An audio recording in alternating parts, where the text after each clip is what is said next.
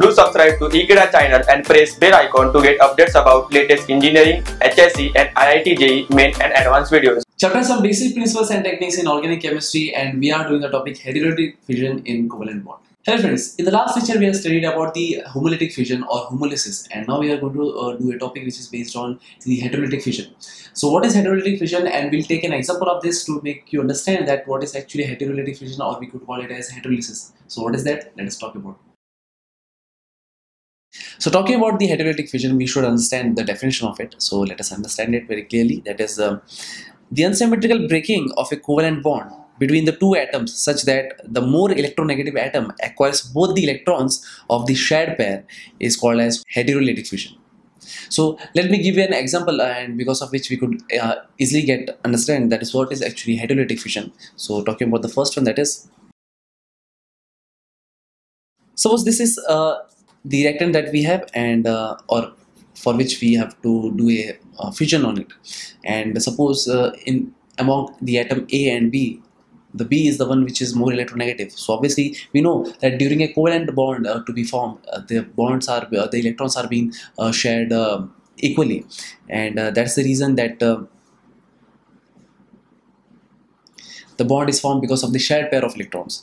And but meanwhile suppose if uh, one of it uh, is more electronegative while the other one will, is more electropositive then we could get to know that uh, the shared pair of electrons will be transferred uh, or uh, the both the electrons will be transferred to the one which is more electronegative after the fission. And that is the reason that suppose if B is more electronegative then we could find that uh, and that is the representation. We should do this kind of representation as to represent that the electron has been transferred from a to B. So suppose in this case this happened and uh, what we could see, we could see that the product that have been formed is basically the A which has lost its electron basically a cation has been formed.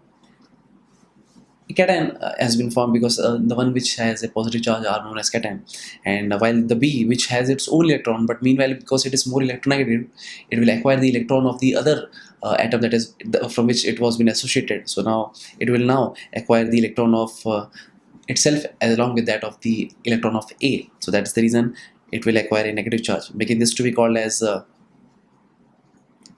cation and this one could be called as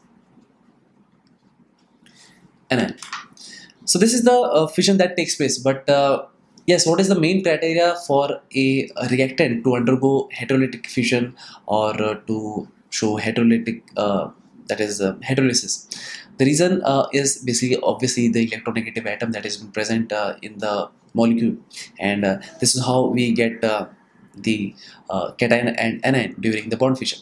And the more important thing is we have to use a particular solvent because in it is very easy to understand that when we have did homolytic fission we have introduced uh, a particular non-polar solvent and because of that only we could uh, see that the free radicals um, would be uh, dissociated or uh, or the free radicals would be formed because of the dissociation of uh, or the bond breaking of the reactants. And that is the reason that um, for that we need a uh, non-polar solvent because we don't need the reaction between the uh, non-polar solvent and that of the radical. But meanwhile, if we are talking about uh, the heterolytic fission, so in this case, uh, the ionic products are being formed, that is uh, a cation and uh, anion. So that is the reason that we are using basically polar solvents. So the polar solvent is very much necessary so as to uh, make the environment for the products or for the for the species that has been generated of the after the heterolytic fission so as to maintain a stability and so as to give uh, a kind of um, a product that we need. So as we know one more thing that like dissolves like and uh, uh, that's the reason that uh, we could say that uh, for using a, a non-polar solvent so that is the reason that we could get a homolytic fission in that case. While choosing a, a, polar solvent we could get a heterolytic fission. So let me introduce an, another example so as to clarify it. Suppose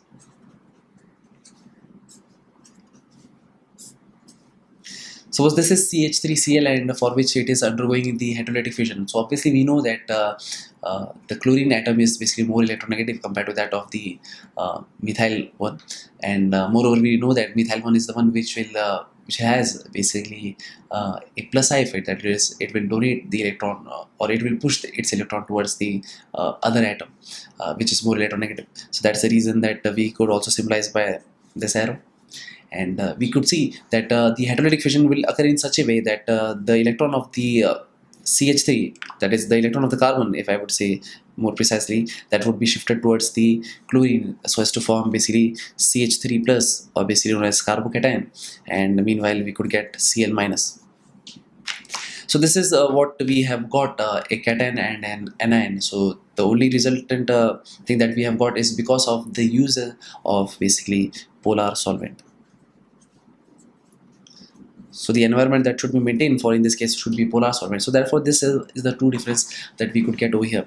And uh, talking about the next thing uh, in this case uh, the methyl uh, cation has been formed while talking about the one which has took place uh, suppose if we have did a uh, homolytic fission for ethane uh, and in that case we also have got a methyl but that one was methyl radical. And that methyl radical is a very short living species while that of the this uh, methyl cation that could be stabilized by uh, the other environment that are being present in uh, around it.